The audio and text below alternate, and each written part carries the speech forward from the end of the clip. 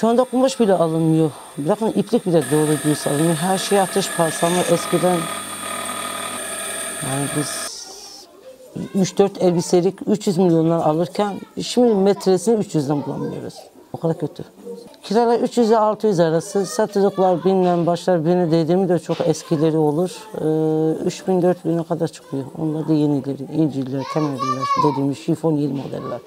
Yani danteli var, kadifesi var, incilisi var, kemeri var, e, arabik var, koçeri, botani, maşa, maşa bağlı. Elbiseler, elbise modeline modele değişiyor. Direkt kesip diktiğimiz elbise de var. Kesip saatlerce incisini, boncuğunu kırıp diktiğimiz var.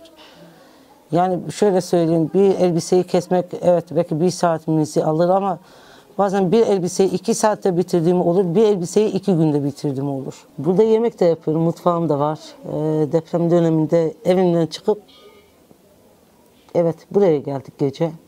Geldim dükkanımı açtım. Yatağım vardı. Burada çocuklarıma çeyizlik almıştım. Burada depolamıştım. Serdim. Girdik içine uyuduk. Sabah kahvaltımızı yaptık.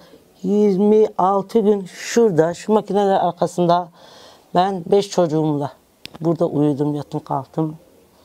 Şu karşımda bina vardı. Onlar da evden kilim, kapbaşı getirip burayı da onlar kullandı. Lavabo vardı, mutfak vardı. Hep birlikte kullandık. Burası benim ikinci evim öyle diyebilirim. Çok güzel bir şey. Tabii ki bir kadının çalışıp ayaklarının üzerinde durabilmesi çok güzel bir şey. Ama çok da yoruluyor kadın. Ben bir anneyim. Yeri gelince babayım, yeri gelince ablayım, abiyim. Burada çalışıyorum, evime bakıyorum, ihtiyaçlarını karşılıyorum, evime gidiyorum, yemeğimdir, temizliğimdir, her şey benden soruluyor. Yani hem annenin hem babanın görevini ben üstlendim, ben yapıyorum. Çok güzel bir şey. Her kadın bence ayaklarının üzerinde durabilmeli.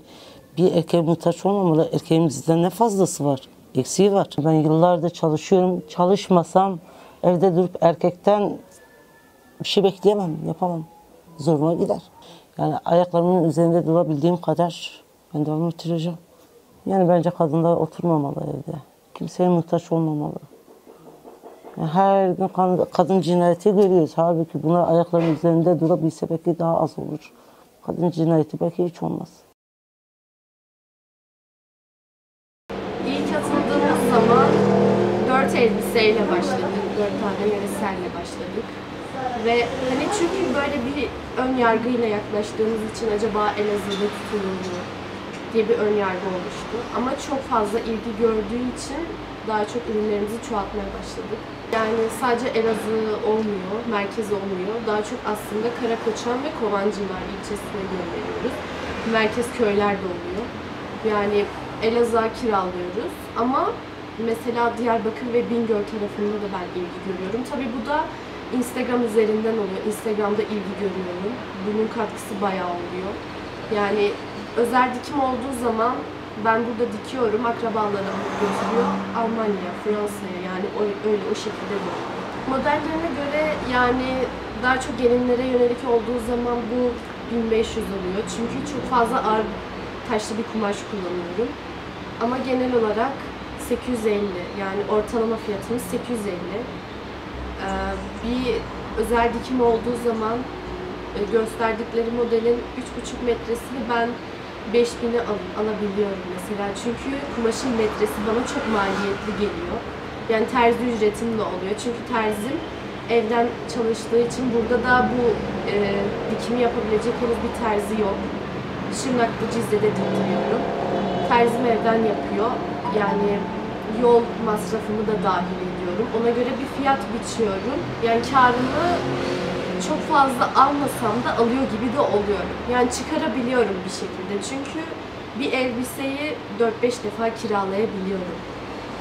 Yani o şekilde ücretini çıkarıp kendi kazancımı sağlayabiliyorum. Yani ailemiz bize yapamazsın dedi yani. Kendi annem babam. Gerçekten herkesten bu lafı çok duyduk. Ama her şeye rağmen yaptık ve bu ilgiyi duymamız bizi çok mutlu ediyor ve çok gururlanıyoruz. Asla aldırış etmedik hiçbir fikre. Hatta şu an çok fazla konuşuluyoruz da diyebilirim. Ee, yani kadınlar gerçekten e, bir fikre ve bir düşünceye sahip oldukları zaman her şeyi başarabiliyorlar. Diyebileceğim tek şey yani lütfen düşündüğünüz her şeyi eyleme geçirin. ilk şey atıldığım zaman çok korkmuştum. Ya bu insanım sonuçta. Korkularım olabiliyor. Ama yaptıktan sonra dedim ki yani bundan neden korktum, bunda ne varmış ki? Çünkü çok kolay bir şeymiş. Hayatta gerçekten hiçbir şey zor değil. Bunu başardım ve çok mutluyum. Kendinize olan güveniniz her şeye yetiyor.